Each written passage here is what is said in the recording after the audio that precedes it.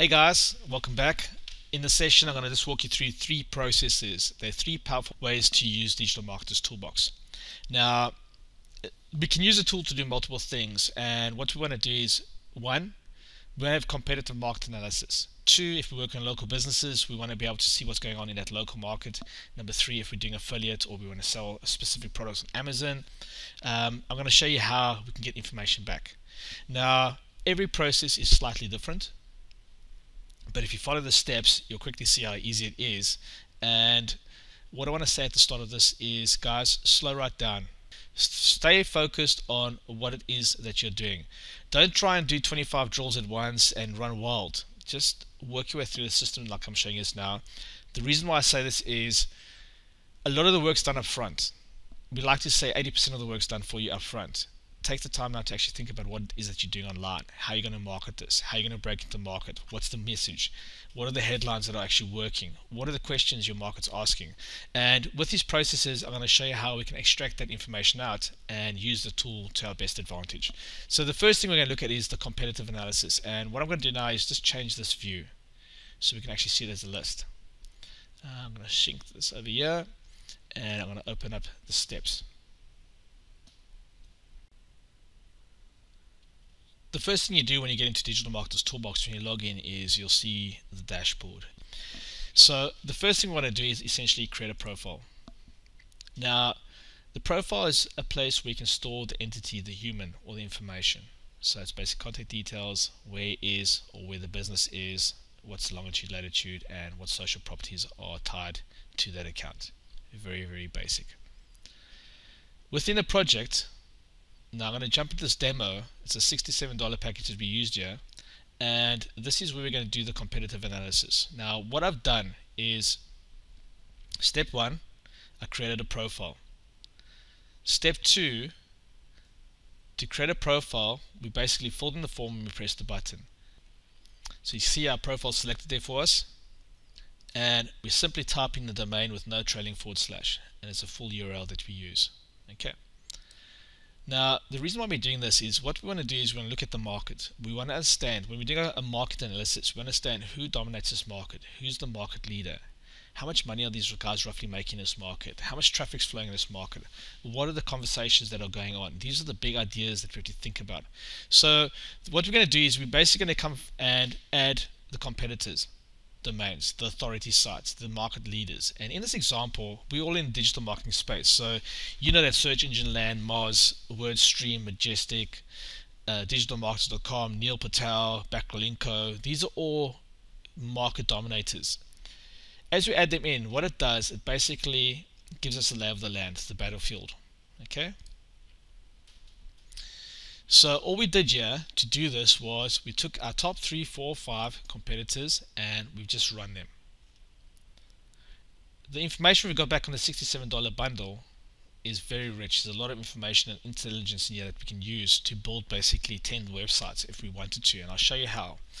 Now, when you think about market analysis,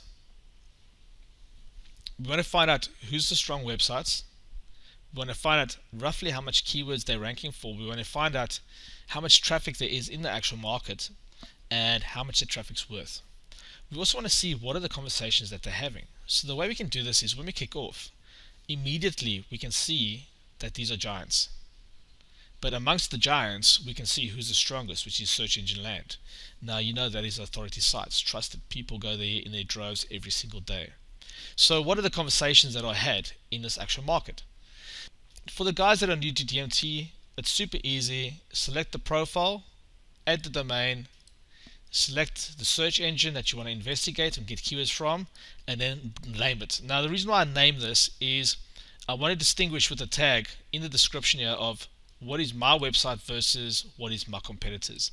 And what we basically do is if I don't have a website yet, like we're doing here in this example, I've put the market leaders in and I'm looking at what's going on within all these sites. I can see what each one's about and as a group collectively I can see what is the languages used.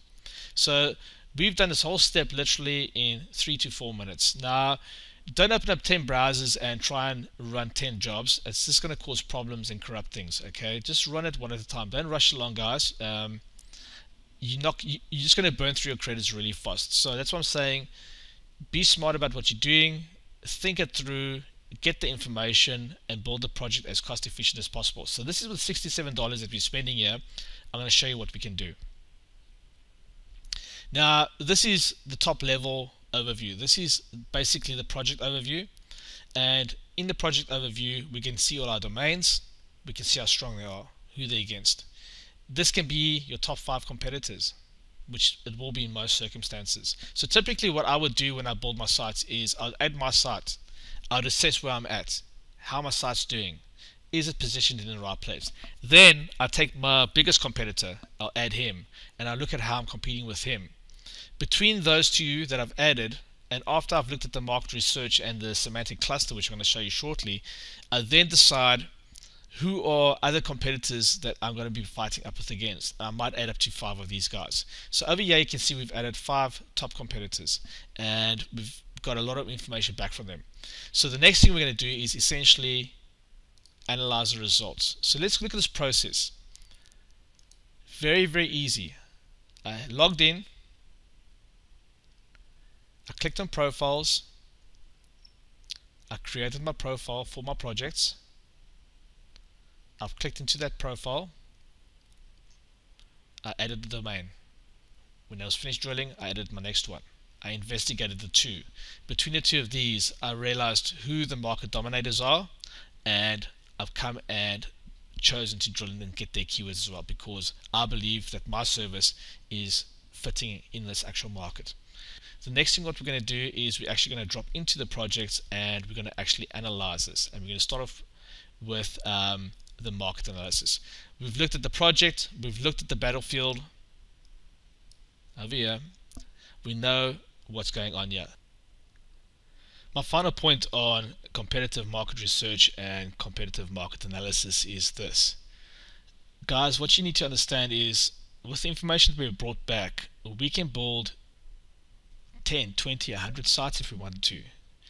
What you have in your hands here with this competitive analysis is essentially the market's keywords. And in the next session, we're going to see now how this actually pans out and how we're going to look at it.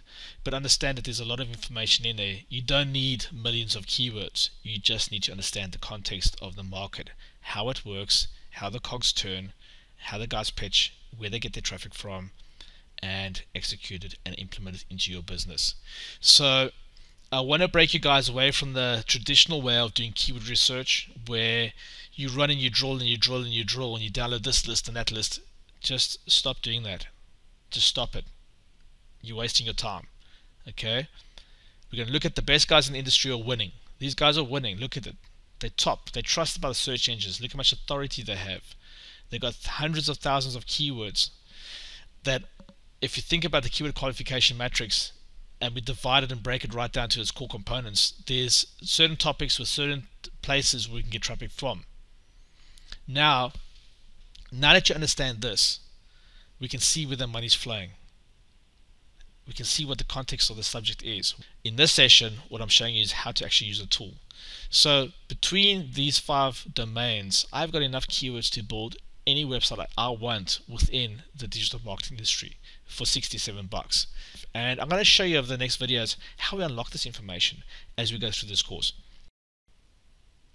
Okay guys, now that we've drilled out the authority sites in this competitive analysis, what we basically want to do all these and see what's going on. So you can click into any of these websites and what's going to basically happen is it'll unlock this menu and we'll see market research. So I'm going to click on market research over there now you see over here sometimes you get this white screen. This just means that this website's blocking X frames. If we go to projects and I click on say digital marketer which isn't blocking you'll see the website opens up.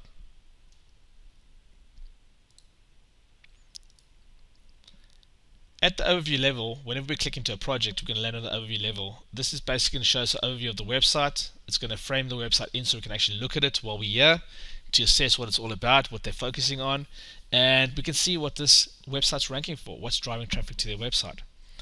In the market research area, when you open the container up, the semantic cluster is where we want to start essentially because we want to look at all these websites and collectively we want to see what are these guys focusing on. So when I maximize this, we down here on the semantic cluster. Typically what we're doing in a semantic cluster is we're looking at it from a market perspective. We're looking for the markets, the themes.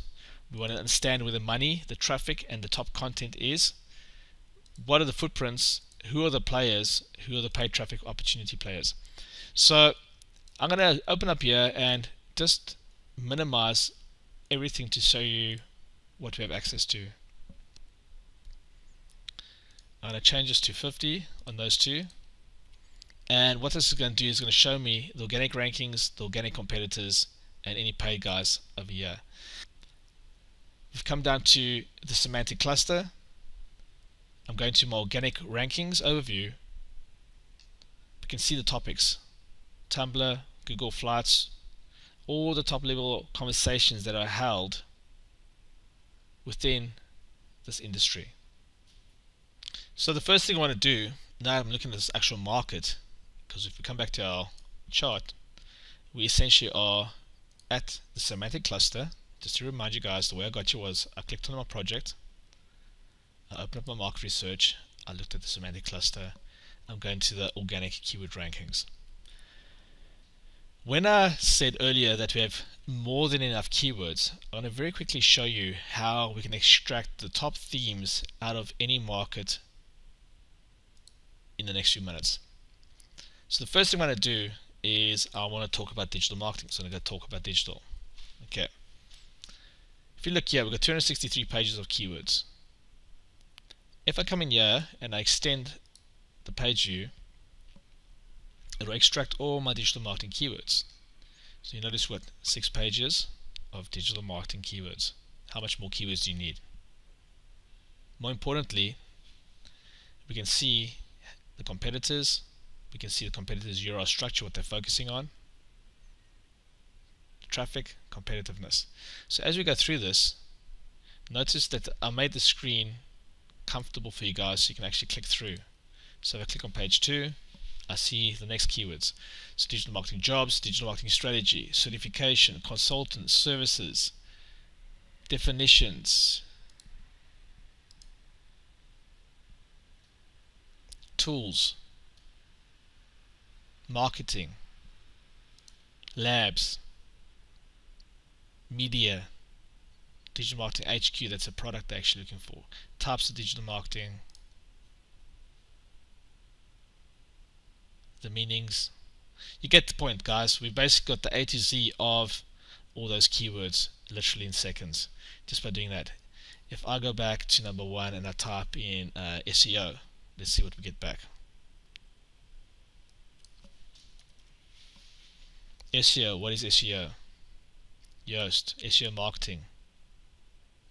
Huge, huge, huge list. Look at all these keywords. And with SEO, we've got another six pages, so get the next page. Okay, so let's look at marketing. And go to page one again. Affiliate marketing, digital marketing, social media marketing. Essentially, we've got every single theme, every single conversation mapped out literally in 15 minutes guys. So that's the power of using this. Now you can drill into this a lot deeper. You can go into actual competitors. So on organic competitors we can say show us the top 20 top 50 guys. We can see it. We can say who's getting the most traffic so we can turn off things.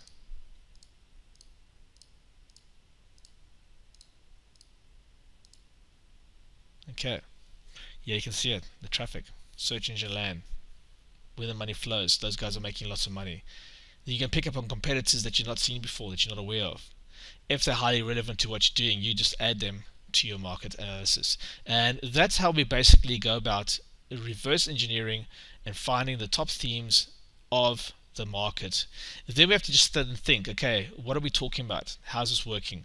So I hope that this one's helped you to very quickly see how we can use the market analysis to really quickly get the best keywords in an industry.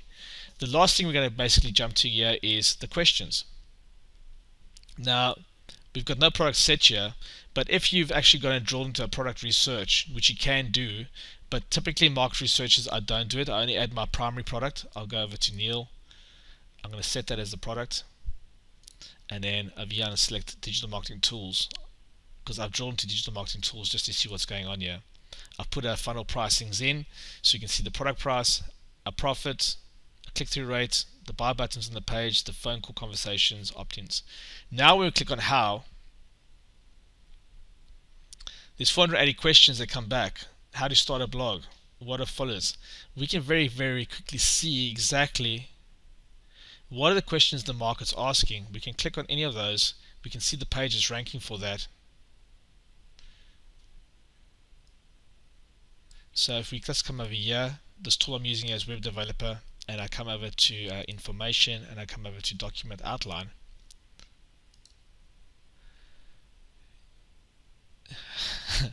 How hard is it to actually just utilize this and see exactly what he's doing?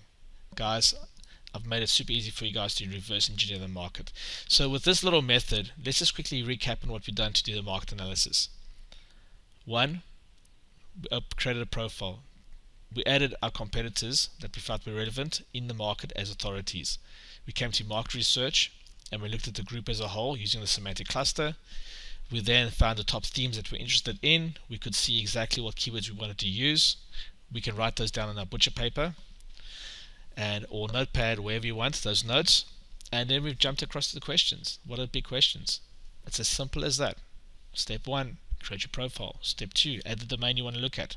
Step 3, add the other authority sites in the industry. Step 4, go to the semantic cluster and look at the top level themes. Use the filter to extract what you're interested in and observe all the keywords. Step 5, look at the questions. And that'll help you get a feel for what's going on in the market.